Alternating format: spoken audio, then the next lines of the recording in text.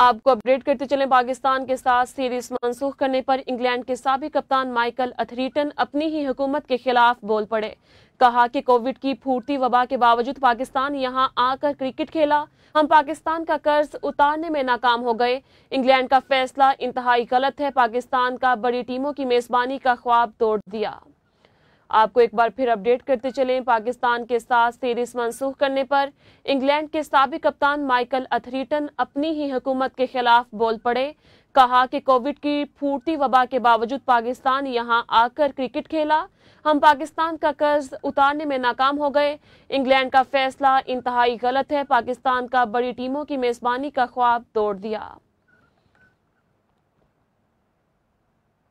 ये थी अब तक की ताज़ा तरीन। फिलवा के लिए इतना ही। मजीद अपडेट्स के लिए विज़िट कीजिए हमारी website Metro Time dot T V और देखते रहिए मेट्रो टाइम